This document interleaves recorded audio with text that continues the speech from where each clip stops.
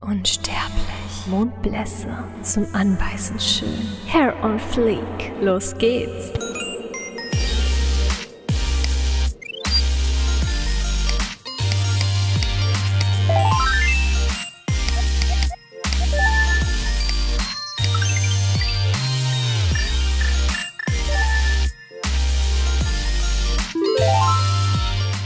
Hallo zusammen! Zuerst pinne ich diese billige 10 Euro Plastikperücke mit Stecknadeln, die ein Köpfchen haben, auf einen Styroporkorb fest, damit sie nicht runterrutschen kann.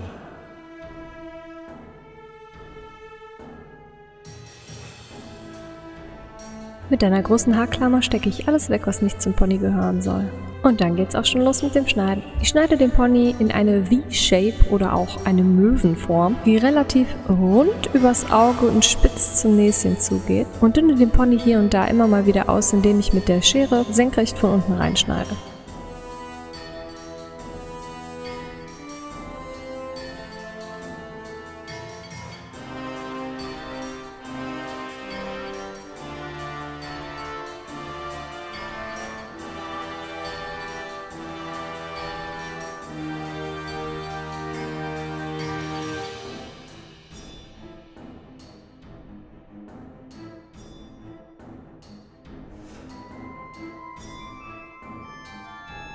Mit einem Glätteisen auf einer niedrigen Stufe forme ich mir den Pony jetzt nun ein bisschen runder und korrigiere alles nochmal ein wenig.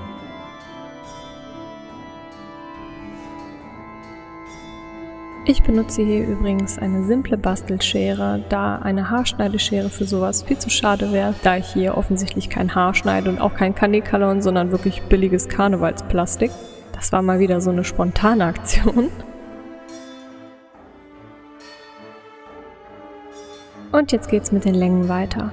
Ich schaue, welche Gesamtlänge ich ungefähr haben möchte und wo der höchste Punkt hinten sein soll.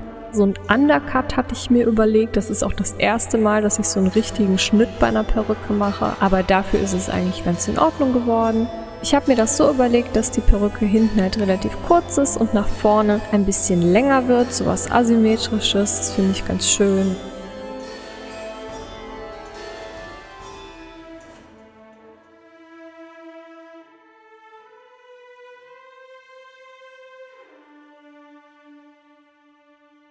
Ich habe mit der Schere auch immer mal wieder ein bisschen diagonal ins Haar reingeschnitten, um die Enden ein bisschen fransiger zu gestalten, dass es sich unten nicht alles so aufbauscht und ein bisschen feiner wirkt. Und dann habe ich auch wieder mit dem Glätteisen gearbeitet.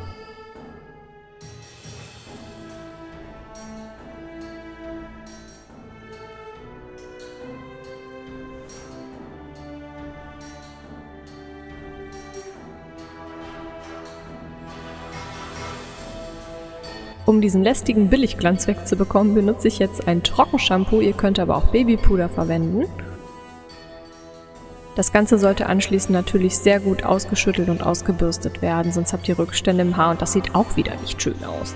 Um der Perücke den letzten Touch zu geben, darf das Styling natürlich nicht fehlen und da gehört wieder eine Menge Haarspray und Föhnen dazu, aber das seht ihr dann im nächsten Video, wo ich dann das passende Make-up dazu schminke und sich das ganze Puzzle zusammenfügt. Ich hoffe, es hat euch gefallen und ihr seid beim nächsten Mal wieder dabei. Bis dann, spukige Halloween!